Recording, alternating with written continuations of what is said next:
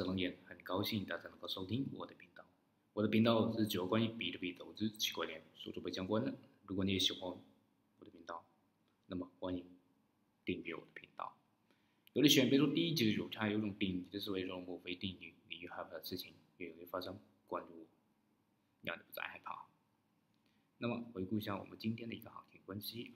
那么昨天比特币进行了一个非常走跌的一个情势，从这个一万。啊，两千四百美金进行了一波的一个走跌下，直接下挫的一个啊一个情况啊，直接呢，那么直接进行了几波的一个回调的一个情况。第一波在这个位置没有进行一个站稳的一个情况啊，在这个位置，第一波在这个位置没有进行站稳，进行第二波的一个反弹也没有站稳这个波。第三，在这个位置也没有进行站稳的情况？随后啊，在这波准备接近日线的级别的一个反弹的一个情况，在这个实现了一波的一个反弹，那么有没有有效的击穿这个三十日均线之后进行一个反弹的一个情况呢？啊，冷眼的一个断定啊，大概有很有可能会在这个位置进行一波的一个反弹的一个情况的。所以说这一波的话啊，还是主要是以一个反弹啊，超跌反弹为主的一个主要的一个信号为主。所以说，目前的话，比特币的价格在一个一万一千七百四十二美金的一个位置，还是处于一个比较低位的一个位置的。那么它没有有效的击穿一个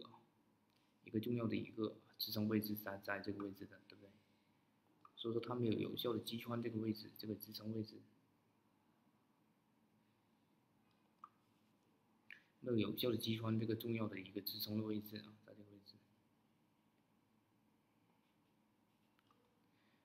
没有击穿这些非常重要的位置的话，那么大概率还是会进行了一波的一个，它的走势也会是非常明朗的，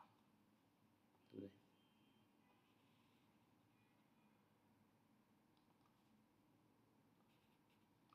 它的走势也是非常的明朗啊，明朗。那么没有击穿这个一万一千五百美金的话，那么大概率会进行一波的一个，根据一个。那波回撤的一个反弹，它已经到达了一个零点六幺八附近的一个距离，所以说这一波的话，在这个位置形成了一波的一个有效的反弹的话，这个位置，在这个位置形成了这个一个啊，形成了一个强有力的一个反弹的一个情况。如果今天在这个位置没有进行回调到，没有回调到一个一万六千美金啊，一万一千。一万一千六百五十美金的位置的话，没有回调到这个位置的话，没有回调到这个位置的话，没有回调到这个位置的话，那么大概率会进行一波的一个反弹，会到达一个再次的一个试探一个啊一万两千美金的一个位置，试探一个一万两千美金的一个位置。所以说这一波的话，根据这个市场的一个热度啊，在不断的一个蒸发一个泰达币的一个情况的话，那么这一波的话，主要以这个一个一个超跌反弹为主啊，超跌反弹为主，目前的信号还是一个超跌反弹为主啊，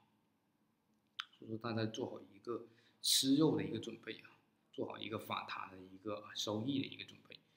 无论它是在这个位置进行，目前这个位置直接进行反弹到一个一万两千美金。或者是在这个呃接触到一个一万一千六百美金附近，然后进行一波反弹的话，都没有影响这个概率，大概率会吃到这个三到三百点到四百点的一个距离，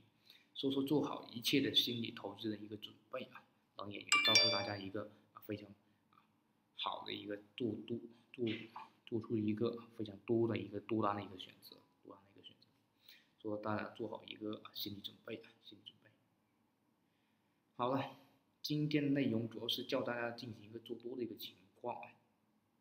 不主张进行一个做空。做空的话，因为啊，那再下来的话，可能就会啊跌破一个熊市的一个情况，啊，会进行一个啊一个一波主主啊主下跌的一个情况，击穿这个一万一千五百美金附近。那么昨天我是在这个位置啊，在一个一万一千啊三百五十美金到一个一万一千六百八十美金，教大家进行一个建仓。那么昨天是进行了一个跌到了一个啊，在一个一万一千五百多美金，那么处于一个中部的一个位置。大家如果在这个位置能够啊建仓的话啊，那么恭喜你啊，恭喜你，那么很有可能会吃到五百点的一个利润啊，利润。